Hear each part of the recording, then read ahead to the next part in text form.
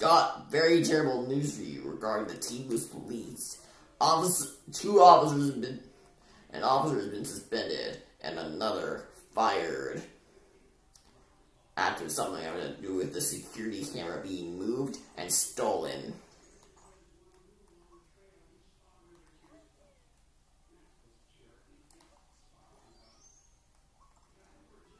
Apparently, we don't know what exactly happened, but